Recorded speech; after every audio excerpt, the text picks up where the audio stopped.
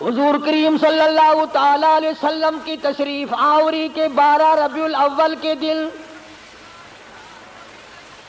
جناب ابو بکر صدیق رضی اللہ تعالیٰ عنہ کی زندگی میں خلافت میں دو مرتبہ بارہ ربیع الاول آیا، جلوس نہیں، جشن نہیں۔ فاروق اعظم رضی اللہ تعالیٰ عنہ کی خلافت کے دور میں بارہ مرتبہ بارہ ربیع الاول کی تاریخ آئی۔ مدینے کی گلیوں میں کوئی جلوس نہیں۔ حضرت عثمان ذنو رین رضی اللہ تعالیٰ عنہ کی خلافت کے دور میں بارہ سال تک بارہ دفعہ ربیع الاول آیا۔ مدینے کی گلیوں میں کوئی جشن، جلوس نہیں۔ حضرت حضرت علی رضی اللہ تعالیٰ عنہ کی خلافت کے دور میں پانچ مرتبہ بارہ ربیع الاول آیا۔ کوئی دور نہیں، کوئی جلوس نہیں، کوئی جشن نہیں۔ سیدنا میر معاویہ رضی اللہ تعالیٰ عنہ کی خلافت کے دور میں بارہ ربیع الاول انیس مرتبہ آیا، مگر کوئی جلوس نہیں۔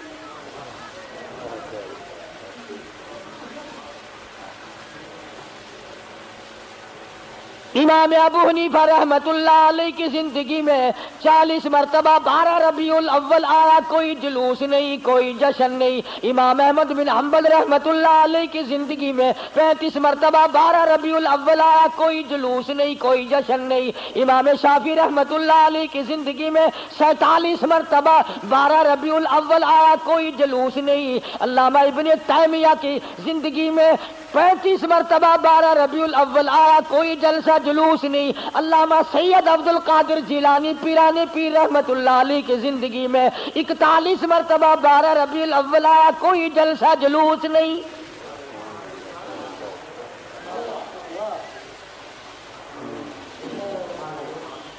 سلطان عالمگیر رحمت اللہ علیہ، ہندوستان کا بادشاہ ہے، اتنا بڑا متقی پریزگار ہے۔ ساری زندگی میں ایک رات بھی تحجد کی قدا نہیں ہوئی۔ مگر بارہ ربیع الاول کا جلوس دلی کے بازار نے دیکھا نہیں۔ چاندنی چوک میں سے کبھی گزرا نہیں۔ خواجہ شمس الدین التمش کی زندگی میں نہیں گزرا۔